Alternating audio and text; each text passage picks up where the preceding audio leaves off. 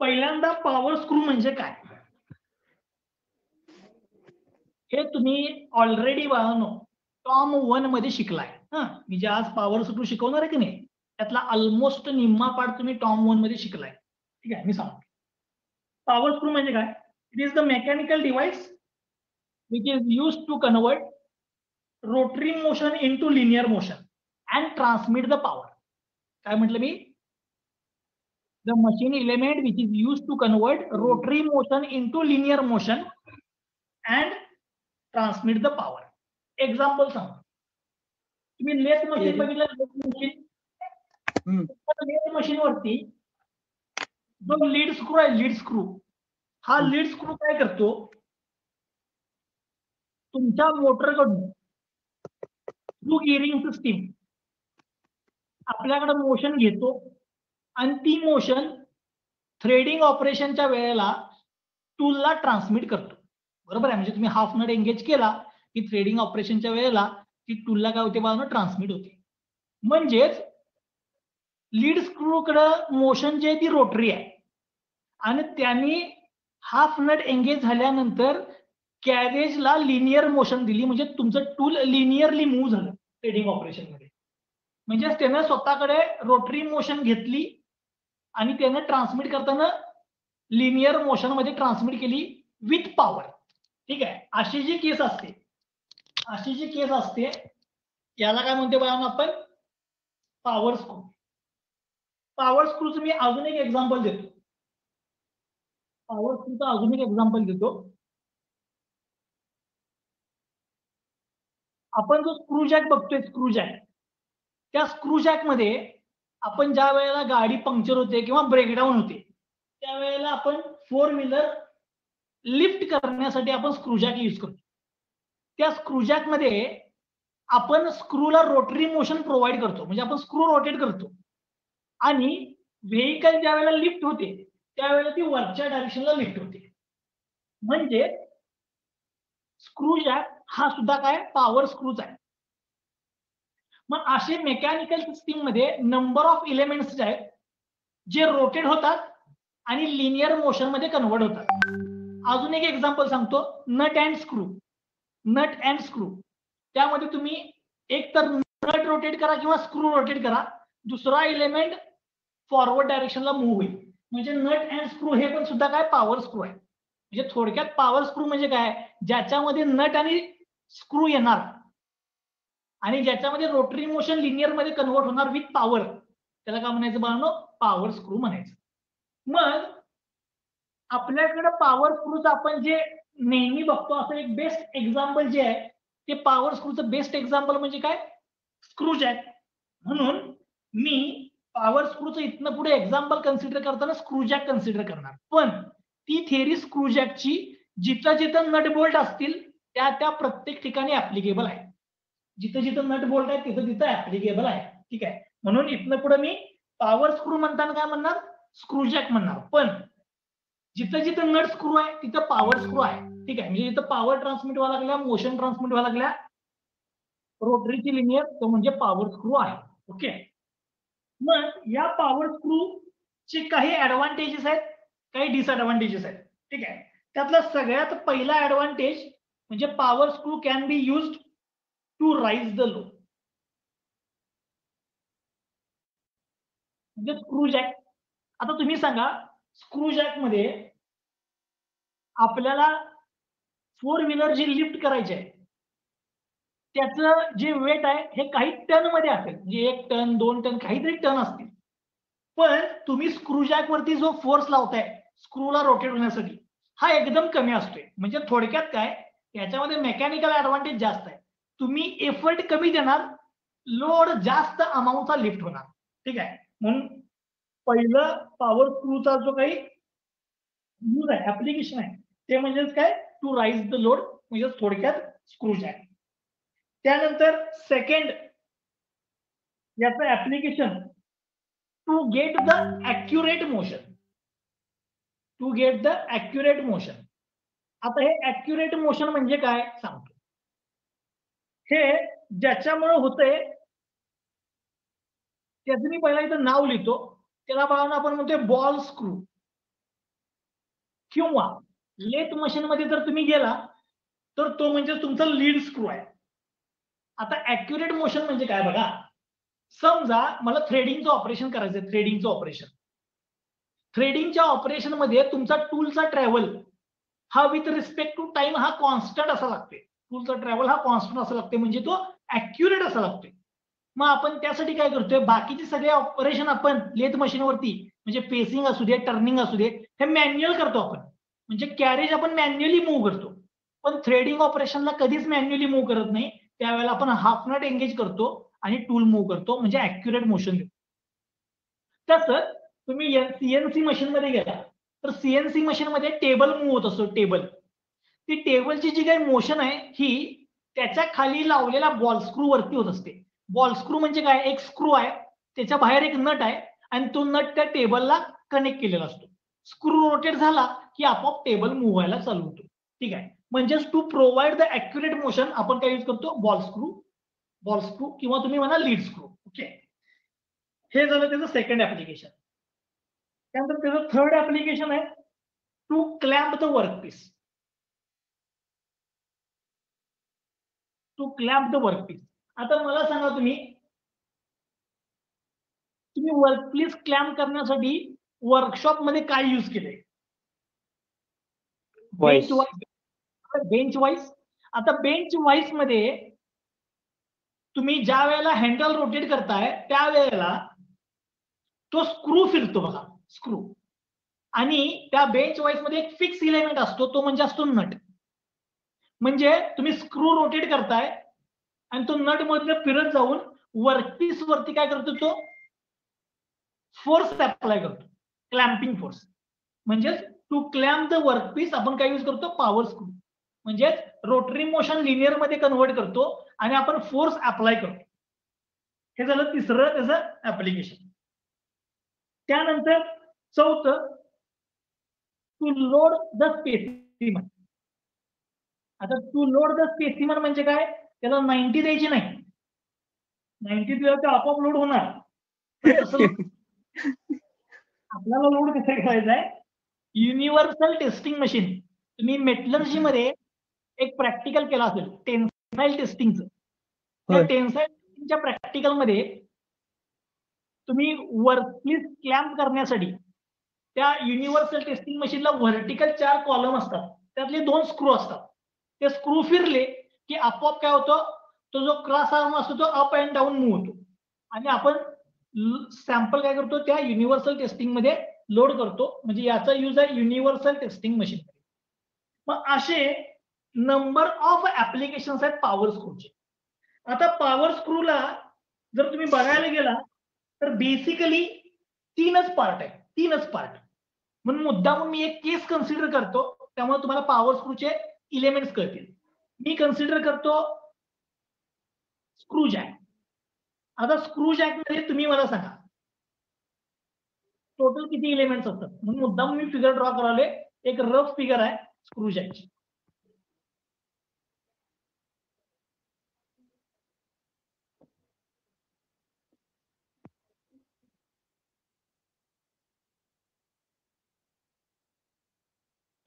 स्क्रूजॅकची मी एकदम rough figure draw केली. सांगा या स्क्रूजॅक मध्ये टोटल किती एलिमेंट आहेत? म्हणजे या पॉवर स्क्रू मध्ये. दोन? दोन. दोन. बघा. हा स्क्रू ते पहिला एलिमेंट हा नट म्हणजे दुसरा एलिमेंट आता या नटला हा सपोर्ट आहे बघा. आहे काय? सपोर्ट आहे. जर समजा मी सपोर्ट दिलाच नाही तर नट फिक्स राहील काय रे? नाही. म्हणजे पॉवर स्क्रू मध्ये नट स्क्रू बरोबर अजून एक एलिमेंट लागतो तो म्हणजे सपोर्ट तो एकतर सपोर्ट तुम्ही स्क्रूला द्या नाहीतर नटला द्या. ज्याला तुम्ही सपोर्ट प्रोव्हाइड करणार तो फिक्स होतो. म्हणजे आता या केसमध्ये नट फिक्स असते स्क्रू फिरत राहते बेंच व्हाईटमध्ये पण बघा नट फिक्स असते स्क्रू फिरत राहते. आणि जो नट फिक्स केलाय तो तुम्ही बेंचलाच फिक्स केलेला असते बघा. म्हणजे तिसरा असतो सपोर्ट म्हणून पॉवर स्क्रू मध्ये पॉवर स्क्रू मध्ये तीन इलेमेंट पाहिजे. आता एक अजून एक केस सांगतो ती म्हणजे बॉल स्क्रूची बॉल स्क्रूची बॉल स्क्रू मध्ये आडवा स्क्रू असतो असा. आणि हा मध्ये नट असतो. या नट वरती टेबल असतो. म्हणजे नट जसा फिरेल तसा टेबल फिरणार आहे. नट जसा फिरेल तसा टेबल फिरणार आहे. म्हणजेच बॉल स्क्रूच्या केसमध्ये म्हणजे सीएनसी मशीन एनसी मशीन मध्ये जर तुम्ही गेला तर ती टेबलची जी मोशन आहे ही त्या नट वरती डिपेंड असते. म्हणजे स्क्रू हा स्टेशनरी असतो आणि नट मुव्हिंग असतो. ठीक आहे? इथं जी केस आहे त्यात नट फिक्स आहे स्क्रू मुव्हिंग आहे. बॉल स्क्रूच्या केसमध्ये स्क्रू फिक्स आहे नट मुव्हिंग आहे. ठीक आहे? म्हणजेच पॉवर स्क्रू मध्ये तीन बेसिक इलिमेंट आहेत. पॉवर स्क्रू मध्ये तीन बेसिक इलिमेंट आहेत. कुठले कुठले? तर पहिला नट दुसरा स्क्रू आणि तिसरा सपोर्ट त्यामुळे पॉवर स्क्रू मॅन्युफॅक्चरिंगला एकदम इझी आहे. मॅन्युफॅक्चरिंगला एकदम इझी आहे. आता एक याचा ऍडव्हान्टेज सांगतो ऍडव्हान्टेज याचा ऍडव्हान्टेज असा आहे मी इथं जो लोड अप्लाय करणार तो एकदम मिनिमम असणार. पण इथं जो लोड लिफ्ट होणार म्हणजे कार तो एकदम लार्ज असणार. म्हणजे मी शंभर न्यूटनचा फोर्स लावला तर मे बी इथनं लोड जो लिफ्ट होईल तो वन थाउजंड न्यूटनचा असेल.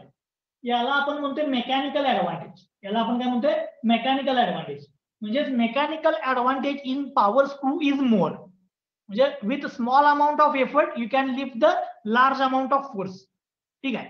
त्यामुळे पॉवर स्क्रूचा हा सगळ्यात मोठा ऍडव्हान्टेज आहे. दुसरा ऍडव्हान्टेज सांगतो. तुम्ही बेंच वॉइसमध्ये क्लॅम्पिंग केलं बघा. किंवा या बॉल स्क्रू मध्ये. मी ज्या वेळेला हा स्क्रू रोटेट करणार त्यावेळेला लोड लिफ्ट होईल. आता मी इथं फिरवायचं थांबलं तर हा स्क्रू खाली येईल का रे आपोआप? मी फिरवायचं थांबलो स्क्रू खाली येईल? नाही. नाही. नाही. म्हणजेच काय? तो सेल्फ लॉकिंग असतो? सेल्फ लॉकिंग म्हणजे याची दुसरी महत्वाची प्रॉपर्टी काय? इट इज सेल्फ लॉकिंग म्हणजे त्याचाच यूज आपण क्लॅम्पिंगमध्ये केला असतोय तुम्ही रोटेट करताय व्हॉइस तो जाऊन क्लॅम्प होतो आणि पुन्हा तो ऑपोजिट डायरेक्शनला फिरत नाही. पण but when it is subjected to vibration म्हणजे तुमचे टू व्हीलर कन्सिडर करा. तुम्ही टू व्हीलरला जो नटबोर्ड लावलेला असतोय तो तुम्ही भरपूर वेळ फिरून झालं खड्डे बिड्डे असतील तर तो नट लूज होतो बघा. तो नट काय होतो? लूज तो नट लूज कशामुळे होतो? ज्या वेळेला तो सब्जेक्टेड टू व्हायब्रेशन असतो त्यावेळेला तो आपोआप अपोजिट डायरेक्शनला फिरायला चालू करतो. म्हणजे या पॉवर स्क्रूला व्हायब्रेशनमध्ये यूज करता येणार नाही. हा त्याचा काय पाहणं डिसएडव्हान्टेज आहे. आता याचा अजून एक एकदम महत्त्वाचा डिसएडव्हान्टेज जो आहे तो मी तुम्हाला सांगतो. तो म्हणजे पॉवर स्क्रूची इफिशियन्सी ही ऑलमोस्ट फोर्टी पर्सेंटच असते. पॉवर स्क्रूची इफिशियन्सी ही ऑलमोस्ट फोर्टी पर्सेंटच असते ती एवढी कमी काय? ज्या वेळेला तुम्ही स्क्रू रोटेट करताय त्यावेळेला याचा आउटर सरफेस या नटच्या इनर सरफेस वरती स्लाइड होतो. म्हणजे तिथे स्लायडिंग फ्रिक्शन आहे. फेस टू फेस कॉन्टॅक्ट आहे. त्यामुळे स्लाइडिंग फ्रिक्शनमुळे पॉवर लॉस ही पॉवर स्क्रू मध्ये सगळ्यात काय बनवणं जास्त आहे. हे त्याचे डिसएडव्हान्टेज आहे. तुम्हाला बनवणं हे कोणीही विचारणार नाही. हे फक्त तुमच्या माहितीसाठी मी सांगितलं. आता मी या टॉपिक मधला जो पॉइंट तुम्हाला पेपरसाठी इम्पॉर्टंट आहे मी तिकडे जातो. ठीक आहे? तो म्हणजे terminology use in power screw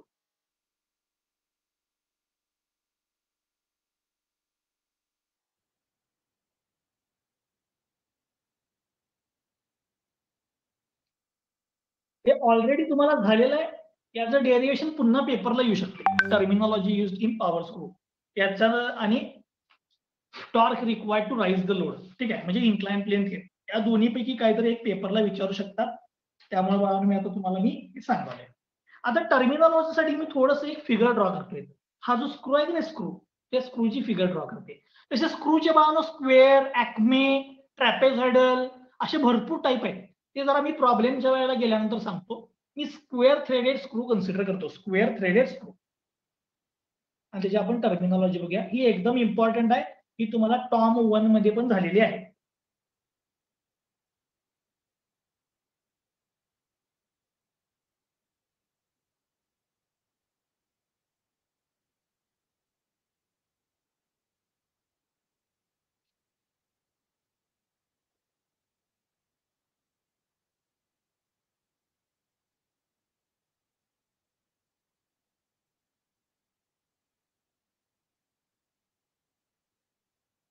ठीक आहे. मी एक स्क्रू ड्रॉ केला आहे हा स्क्वेअर थ्रेडेड स्क्रू आहे. या स्क्वेअर थ्रेडेड स्क्रू मध्ये हा जो स्क्रू आहे म्हणजे हे जे थ्रेड आहे हे सगळे हेलिकल फॉर्ममध्ये आहेत. म्हणजे काय? हा असा बाहेरून आला की हा मागून इकडे येणार बघा.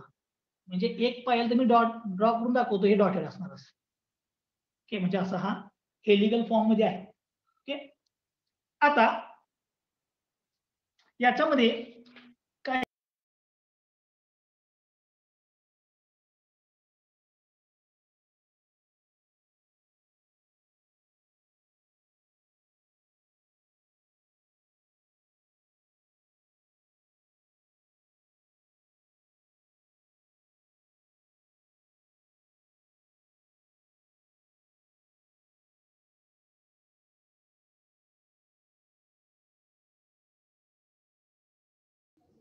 बंद पडतो त्या पर्यायाने चल.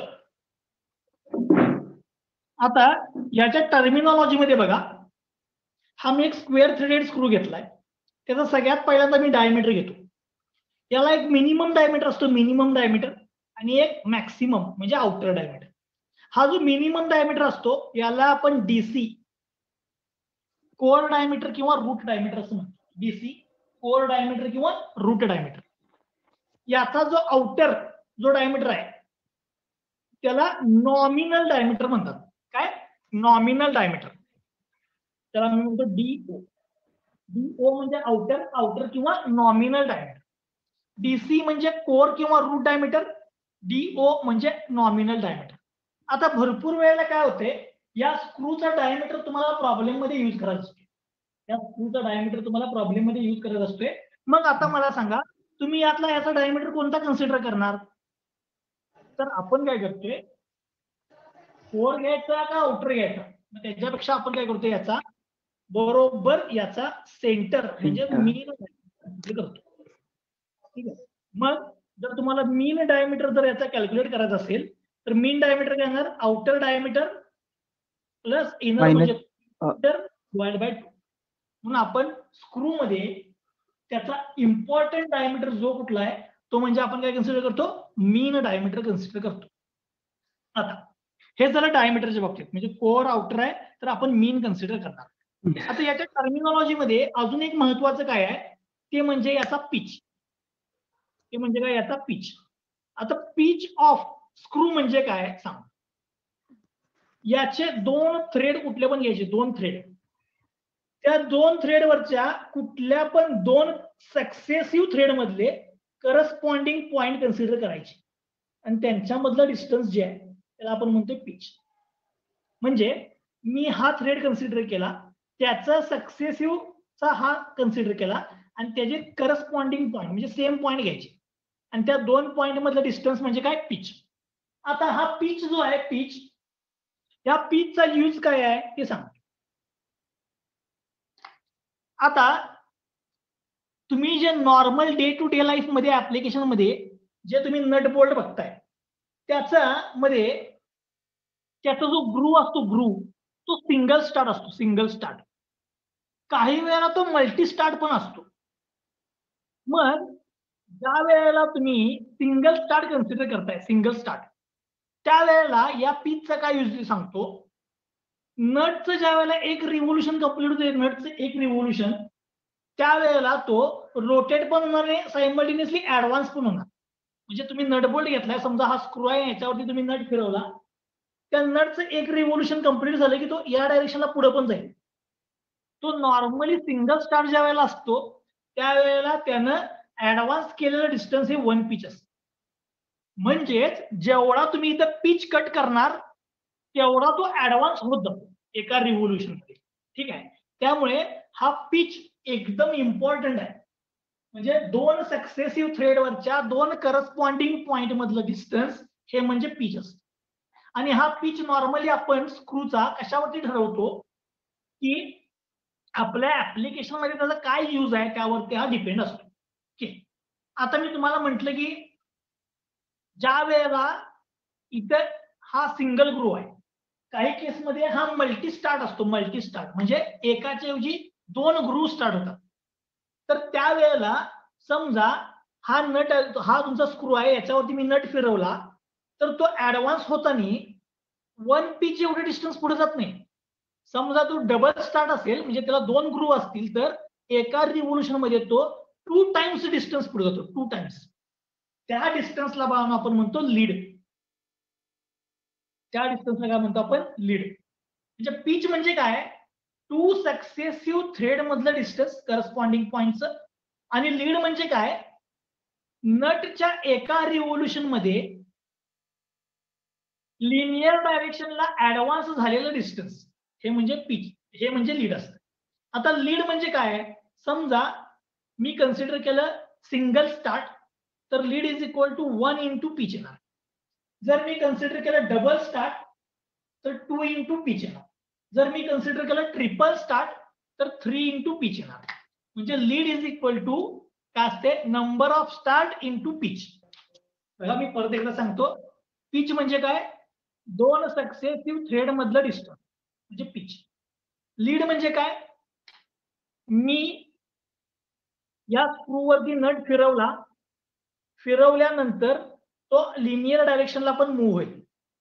मूव्ह होताना जर हा स्क्रू डबल स्टार्ट असेल तर हे डिस्टन्स टू पीच एवढं पुढे जाते. टू पीच जर सिंगल स्टार्ट असेल तर वन पीच एवढं पुढे जाणार.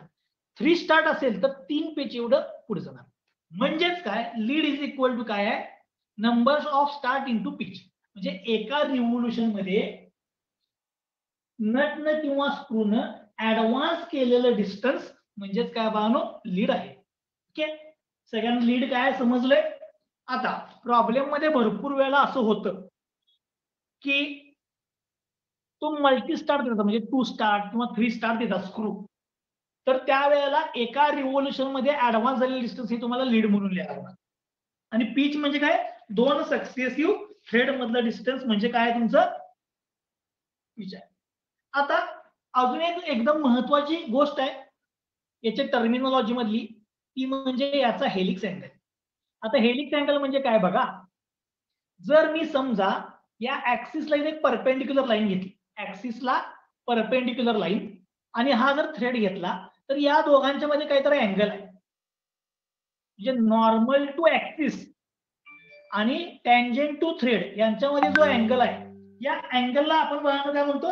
हेलिक्स अँगल या अँगलला काय म्हणतो आपण? हेलिक्स अँगल हा हेलिक्स अँगल आपण अल्फाने डिनोट करतो. हा हेलिक्स अँगल कशाने डिनोट करतो? अल्फा.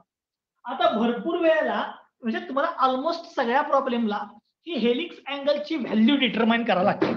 ती कशी डिटरमाइन करायची ती सांगतो. पहिल्यांदा मी हेलिक्स अँगल म्हणजे परत काय सांगतो बघा? It is the angle between normal to axis and tangent to thread थ्रेडला tangent आणि ऍक्सिसला परपेंडिक्युलर म्हणजे नॉर्मल यांच्यामधला अँगल म्हणजे हेलिक्स अँगल आहे. म्हणजे त्या थ्रेडचा थोडक्यात हॉरिझॉन्टल बरोबरचा अँगल म्हणजे हेलिक्स अँगल आता हा हेलिक्स अँगल डिटरमाइन करावा लागतो आपल्याला. हा हेलिक्स अँगल आपल्याला डिटरमाइन करावा लागते तो कसा डिटरमाइन करायचा सांग. मी काय करतो? हीच फिगर इथे ड्रॉ करतो. हा थ्रेड आहे की नाही हा थ्रेड हा थ्रेड घेतो मी. पण घेताना काय करतो आयडिया बघा एक पूर्ण रिव्होल्युशन घ्या. या थ्रेडचं एक रिव्होल्युशन मागणं मागणं स्टार्ट करतो. इथं आलो. आणि पुन्हा मागे गेलो. आहे काय? हा पूर्ण एक रिव्होल्युशनचा तो ओपन करा डायरेक्ट ओपन ओपन करताना ह्या अँगलवरच ओपन करायचा?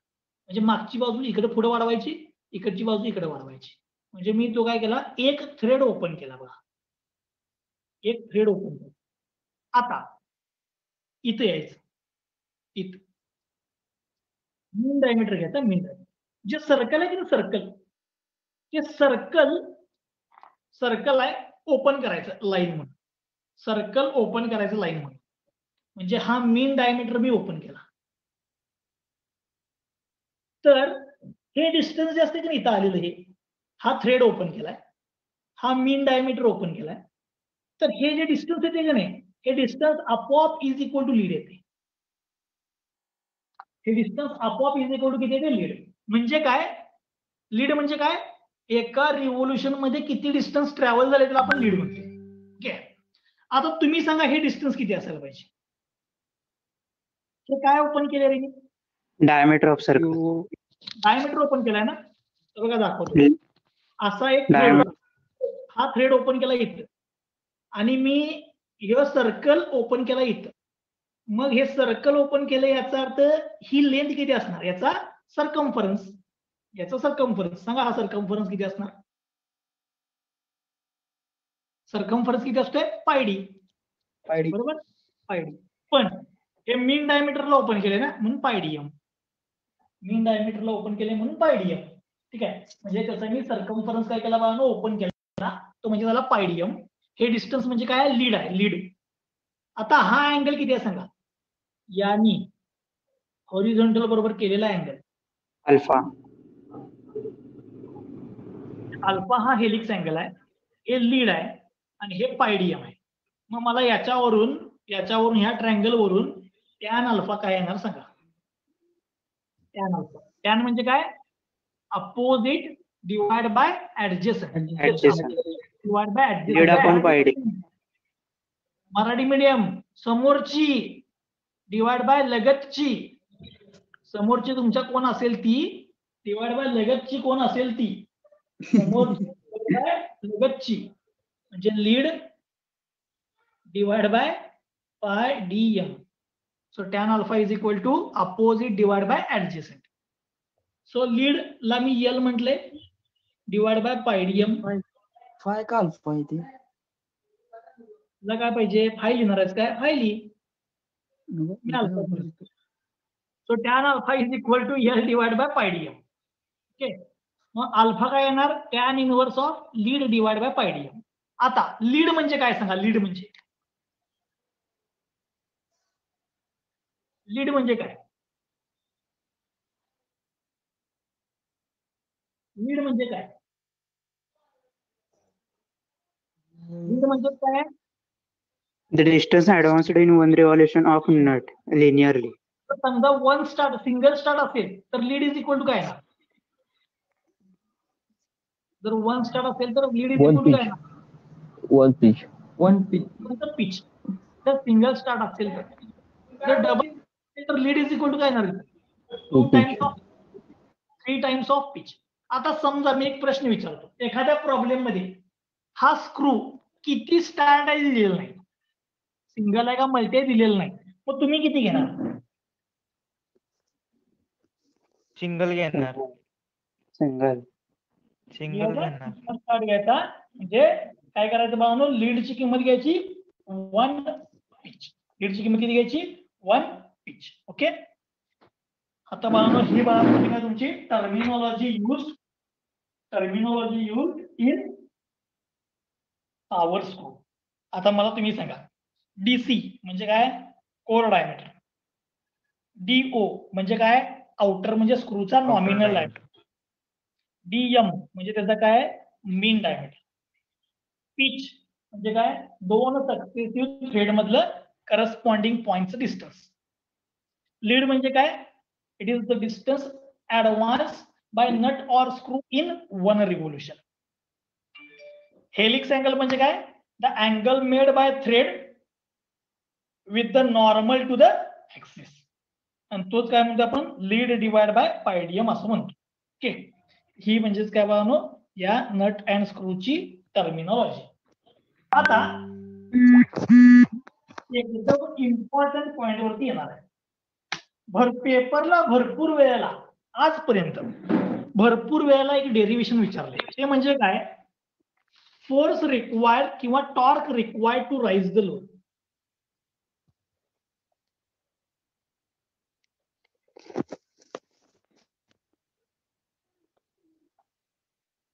in power screw यालाच बाळानं म्हणतात इन्क्लाइंड प्लेन थिअरी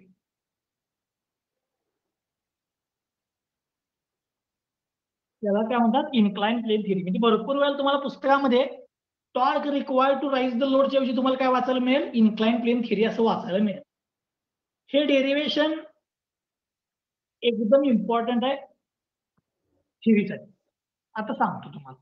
हा स्क्रूजॅक आहे का नाही? हा स्क्रूजॅक हा कन्सिडर करा स्क्रूजॅक या स्क्रूजॅकमध्ये बघा मी समजा हा स्क्रू फिरवला तर लोड काय होणार आहे? अपवर्ड डायरेक्शनला राईट बरोबर?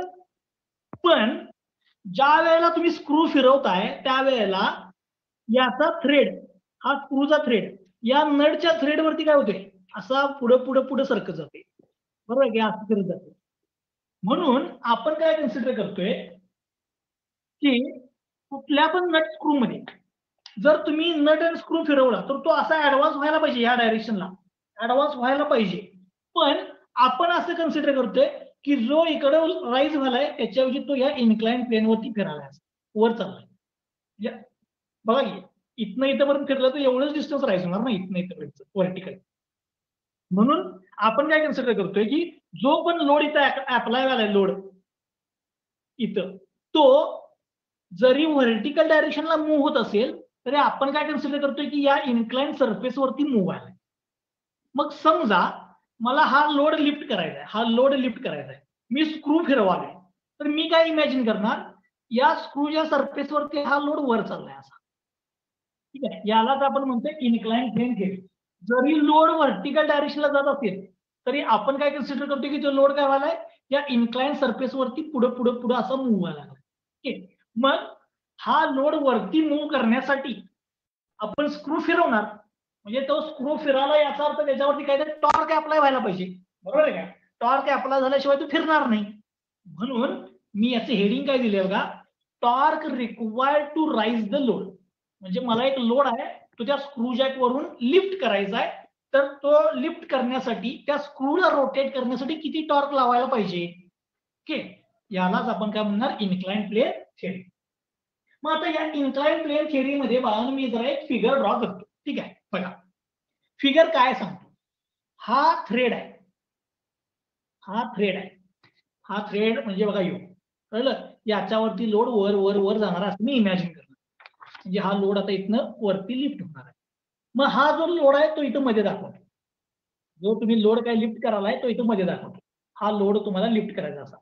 हा लोड म्हणजे इमॅजिनरी दाखवलाय तो ऍक्च्युली इथं असते बघा वरती. इथं आहे काय? हा लोड आहे तो मी इथं इथं दाखवलाय. ओके म्हणजे हा इन्क्लाइन थ्रेड आहे त्याच्यावरती हा लोड ऍड झालाय. हा मला याच्यावरती लिफ्ट करायचा आहे आता मला सांगा हा अँगल किती आहे? अल्फा. बरोबर? अल्फा. आता समजा हा मी एक थ्रेड ओपन केलाय. एक थ्रेड ओपन केलाय असं इमॅजिन करा. तर हे डिस्टन्स किती असायला पाहिजे? लीड लीड इथे काय असायला पाहिजे लीड असायला पाहिजे. मग इथून इथेपर्यंत डिस्टन्स काय असायला पाहिजे?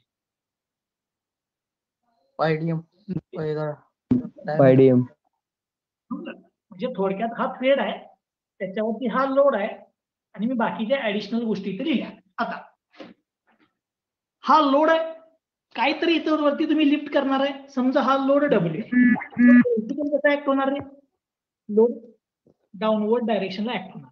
ठीक आहे? म्हणून तो लोड मी व्हर्टिकल डाऊनवर्ड डायरेक्शनला जातो. हा लोड तुम्ही सांगायचं मला. इथं नट आणि स्क्रू आहे. एक तर स्क्रू स्टेशनरी असणार नट फिरणार किंवा उलट होईल. म्हणजे थोडक्यात जर मी स्क्रू फिरायला असं धरतो तर जो लोड ऍक्टिव्ह आला इथं हा लोड तो लोड कोणावरती ऍक्टिव्ह आला या स्क्रू वरती आला म्हणजे थोडक्यात स्क्रू म्हणजेच इथं लोड आहे. ठीक आहे? म्हणजेच याचा अर्थ काय? जर हा हा- जर हा स्क्रू असेल आणि हा जर नट असेल या दोघांच्या मध्ये कॉन्टॅक्ट आला कॉन्टॅक्ट कॉन्टॅक्टच्या इथं काय जनरेट होतं रे? रिॲक्शन जनरेट व्हायला पाहिजे. आतापर्यंत आपण त्याला आर म्हणायचो त्याच्याऐवजी मी त्याला एन म्हणतो हा एन म्हणजे काय? Reaction between nut and screw reaction between nut and screw हा डब्ल्यू म्हणजे काय? लोड ऍक्टिव्ह जो व्हर्टिकल मोडला लोड ऍक्टिव्ह आलाय तो डब्ल्यू हा लोड आहे. हा एन म्हणजे काय? या दोघांच्या मध्ये रिॲक्शन आता हा लोड तुम्ही मूव्ह करायला ना वरती ह्या दोघांच्या मध्ये कॉन्टॅक्ट आहे. जर दोघांच्या मध्ये कॉन्टॅक्ट असेल लोड इकडे मूव्ह होत असेल तर अपोजिट डायरेक्शनला काय जनरेट व्हायला पाहिजे? हा लोड या सरफेस वरती तुम्ही पुढे पुढे पुढे न्यालाय. तर इथं कॉन्टॅक्ट असल्यामुळे अपोजिट डायरेक्शनला काय जनरेट व्हायला पाहिजे इथं? आणि फ्रिक्शनल फोर्सचा फॉर्म्युला सांगा तुम्ही. फ्रिक्शनल फोर्सचा फॉर्म्युला सांगा. Mu into R N mu into R N पण मी तर नॉर्मल रिॲक्शनला एन म्हटले म्यू इंटू एन म्यू म्हणजे कोइफिशियंट ऑफ फ्रिक्शन आणि एन म्हणजे नॉर्मल रिॲक्शन या नॉर्मल रिॲक्शनला मल्टिप्लाय करायचं. म्हणजे हा तुमचा फ्रिक्शनल फोर्स आला. म्हणजे हा लोड ऍक्टिंग डाऊनवर्ड ही नॉर्मल. रिॲक्शन लोड वर चाललाय म्हणजे हा फ्रिक्शनल फोर्स आता लोड वर चाललाय याचा अर्थ तुम्ही स्क्रू फिरवालाय ना? हा लोड वर चाललाय याचा अर्थ हा तुम्ही स्क्रू फिरवालाय. म्हणजे तुम्ही इथं फोर्स लावालाय बाहेर. हा फोर्स या ऍक्सिसला काय असणार? परपेंडिक्युलर बरोबर? म्हणजेच ऍक्सिसला परपेंडिक्युलर तुम्ही फोर्स लावायला पाहिजे बाहेरून. त्याला मी म्हणणार एफर्ट पी त्याला मी काय म्हणणार? एफर्ट पी आता ही फिगर काय आहे? मी परत एकदा एक्सप्लेन करतो. ही फिगर समजली की तुमचं डेरिवेशन ऑलमोस्ट झालं. फिगर समजली की बघा. परत एकदा सांगतो हा फिगर काय आहे. Torque require to raise the load मला लोड लिफ्ट करायचा आहे. पॉवर स्क्रू मध्ये म्हणजे स्क्रू जॅकमध्ये असं म्हणा. वरून काहीतरी तर लोड ऍक्ट होणार म्हणजे कार आहे कारचा काहीतरी तर लोड ऍक्ट व्हायला पाहिजे ना तो डब्ल्यू आहे मी हा फिरवणार स्क्रू स्क्रू फिरवला म्हणजे मी इथं लोड लावणार आणि हा लोड लिफ्ट होणार. आपण व्हर्टिकल जरी लिफ्ट होत असलं तर आपण काय इमॅजिन करतो की तो लोड या इन्क्लाइन सरफेस वरती चाललाय. असं आपण इमॅजिन करतोय म्हणून म्हणतात इन्क्लाइन प्लेन थिअरी म्हणजे या इन्क्लाइन सरफेस वरती लिफ्ट व्हायलाय. आहे मी हा इन्क्लाइन सरफेस पहिला ड्रॉ केलाय. हा इन्क्लाइन सरफेस या इन्क्लाइन सरफेसचा हॉरिझॉन्टल बरोबरचा अँगल किती आहे? अल्फा म्हणजे हेलिक्स अँगल. तो दाखवला. हॉरिझॉन्टल बरोबरचा अँगल अल्फा. हे लीड आणि पायडियम लिहायची गरज नाही. मी ते मुद्दामून एक थ्रेड ओपन केल्यावर हे डिस्टन्स लीड असते. हे डिस्टन्स पायडियम असते. हे दाखवले. ठीक आहे? त्याची गरज नाहीये पण मी दाखवले. आता लोड ऍक्टिंग डाऊनवर्ड आहे बघा. लोड ऍक्टिंग डाऊनवर्ड आणि तुम्ही फोर्स लावला पी तर हा लोड वरती लिफ्ट होणार आहे पण आपण काय इमॅजिन करायला लोड हा या सरफेस वरती चाललाय असं. असं चाललाय.